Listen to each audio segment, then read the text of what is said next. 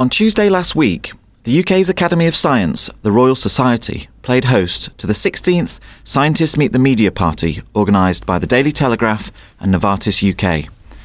Beneath portraits and busts of the Society's founding fathers, today's leading scientists and science journalists set about their appointed task of improving relations with each other.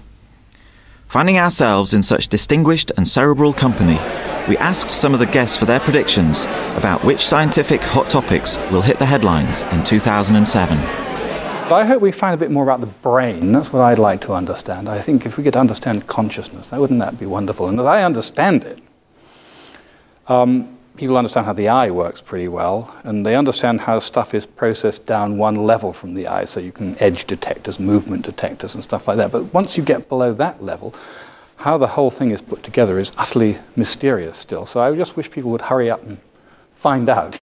I think, I, think I'm, I'm so worried still that we're not engaging young people with science or with scientific fact or things that are based on science.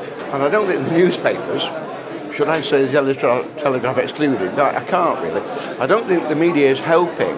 Um, the, the, whole event of, of global warming uh, is a snowball and is, is, is stampeding forward and the, the facts behind it are getting more and more spurious. I went to CERN about a month ago and looked at the Large Hadron Collider they're putting together. And at the end of this year, they're going to be shooting protons at one another at 99.9999% of the speed of light. And they are certain they're going to make the Higgs particle, they think they're going to make dark matter. They're amazingly excited.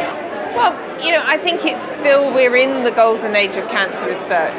But the big challenges are taking the information that we've all learnt about what goes wrong when cells become malignant and really translating that into something that will help the patients. Well, I think in 2007 we could potentially see a convergence of many technologies to spur on a new era of innovation as we see bioinformatics, IT, and computer technology combining with traditional modes of science we could see significant new strides forward in the treatment of many, many diseases. I'm going to predict that one of our orbiting spacecraft, maybe Mars Express from the European Space Agency, is actually going to catch water in the act of flowing down perhaps the wall of one of the craters. I think the field that really excites me is sort of whole new picture we have of people not as just simple human beings but as superorganisms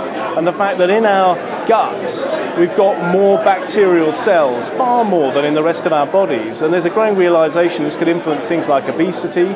So obese people might have a set of microorganisms that are better extracting energy from food than the sort of microorganisms in slim people like you. So I could have a different set of gut bugs from you. Science is going to impact on politics in more and more ways. We have to make decisions on nuclear power, for instance. We have to decide what to allow with regard to stem cell research.